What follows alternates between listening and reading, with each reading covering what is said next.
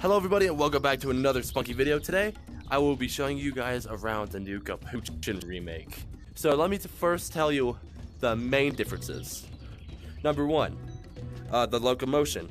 The locomotion is actually different from Gorilla Tag, well slightly. You are now bouncier. Like, you may not notice it when I'm just moving around, but if I just jump and go like this, you're bouncier. Some people won't like this movement, but after a bit, you get used to it. It's a nice fresh air after like playing Gorilla Tag, how smooth that is and how bouncy the capuchins are. The entire stump is different. There's a lot of fish game posters everywhere. There's three monitors. One main, one for the time, and one for logs. And there's currently two tabs, color and name. Colors is uh, generic, you just change your color, but now instead of just picking a, a normal color, it actually randomizes your color every time. So whenever you join the game, you spawn in the tutorial up there where the waterfall is, and then you get to learn how to, uh, the new mechanics, climbing and such. Speaking of tutorial and climbing, you can now climb on certain objects. Not everything, certain objects. All you gotta do is just grip onto them, like this, and you'll be uh, stuck to them. There's now two ways to get to the second layer of forest. One with a ro rope and the other with a tree. If you're not experienced with climbing, then you can just do the tree. The sky is more quality, the waterfall is more... Uh, waterfall is better.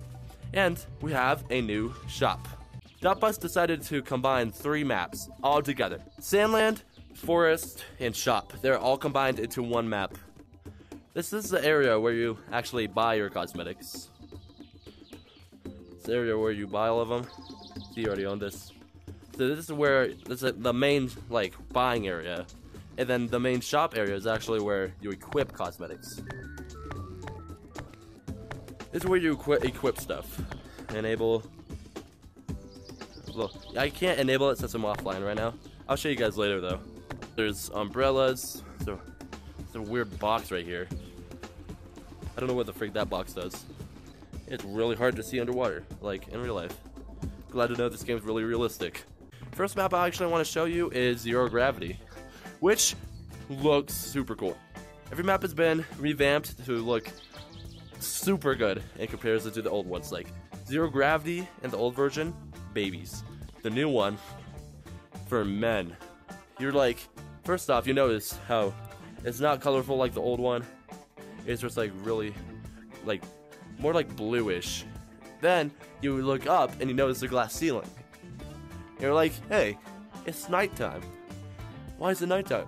And then you look and you see Capuchin World. So yeah, uh, this map is has is taking place in space, and this is probably lore since this looks like an alien planet. So Capuchin maybe the Capuchin might take place on an alien planet.